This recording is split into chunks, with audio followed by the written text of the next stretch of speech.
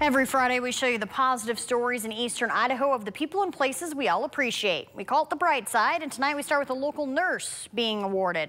Eastern Idaho Regional Medical Center has recognized their newest Daisy Award honoree. Lacey Lyman, RN in Labor and Delivery, was nominated for the award by a patient. The patient said Lacey is an incredible example of empathy and of nursing. Idaho State University is inducting seven new members into its Sports Hall of Fame, and these are the honorees, Anna Marie Hofstetter, soccer, Joe Maddie, Isaac Mitchell, and Richard Rogers, all football, Cassie Merkley, track and field, Danelle Morgan, basketball, all are Idaho State alumni. Also being inducted, Jerry Miller, also known as the voice of the Bengals, is being honored with the Lifetime Achievement Award.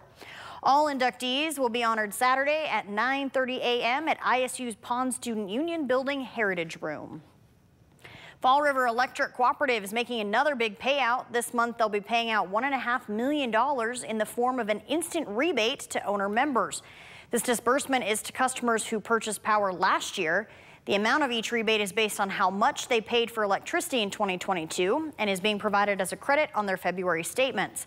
This follows a $2.6 million payout to owner December's in December. If you have an idea for the bright side, send us an email, newsroom at kpvi.com.